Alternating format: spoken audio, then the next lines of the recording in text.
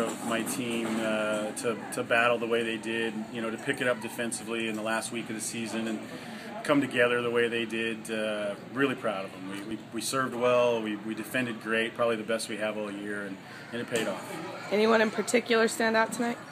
a lot of people. Stephanie Ziegler was rock solid the whole weekend at Libero, and, and our outside hitters. Bradley Nash has come on the last few weeks. She's starting to get a little healthier and playing great.